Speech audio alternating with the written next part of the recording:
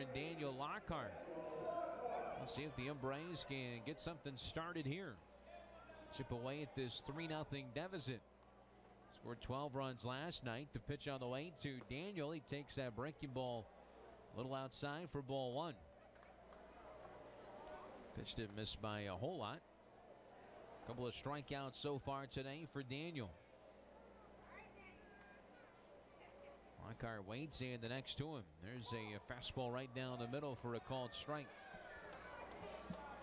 Lockhart, 25 years old from Dacula, Georgia, 6 foot 190 pounds. Playing for his third professional organization.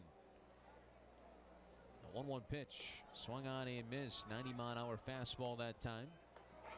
Drafted originally and signed by his father, Keith.